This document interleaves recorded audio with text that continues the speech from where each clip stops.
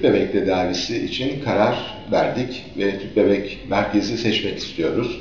Tabii e, birçok elimizde e, gidebileceğimiz merkez ismi var.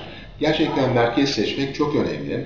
E, burada tabii temel şart görüştüğünüz merkezlerde, görüştüğünüz hekimlerle olan iletişiminiz temel teşkil ediyor. İyi bir iletişimin kurulması, iyi bir frekansın sağlanması burada çok önemli.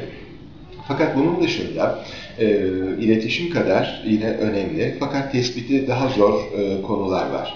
Mesela laboratuvar başarısı nedir? Laboratuvarda kullanılan aletler veya sarf malzemeleri nelerdir? Bunlar da gebelik üzerinde olumlu veya olumsuz bazı etkilere yol açabiliyorlar. Bunları tabii tespit etmek çok kolay olmamakla beraber merkezin başarısı, merkezin e, gebelik oranlarındaki başarısı, dondurulan sikluslardaki başarısı ve bebek götürme oranlarındaki başarısı gerçekten önemli e, referans e, kriterleri olarak ele alınmalı.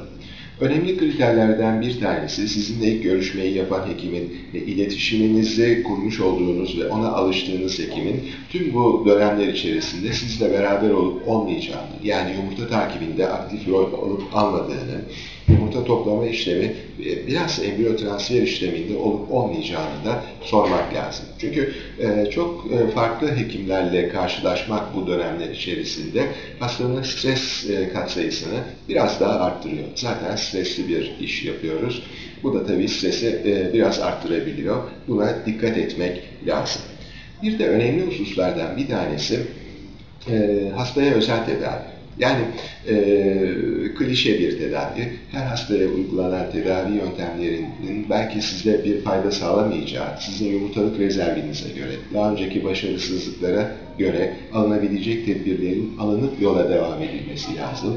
Size uygun bir tedavi protokolünün çizilmesi lazım.